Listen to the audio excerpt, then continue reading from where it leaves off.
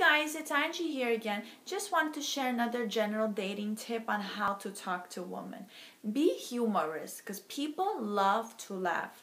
If you can make her smile and laugh, then you know you're on the right track. Because a woman, she'll want to hang out with somebody that can make her smile and have a good time. So you need to figure out how to be that person. Each man will have his own way of being entertaining. So if you're struggling with that, think about how you're around your friends. How do you entertain them? Use that as a starting point on entertaining women as well, I say. Also, if you guys want any more dating tips, you can visit us at datingprofilewriters.com. Thanks.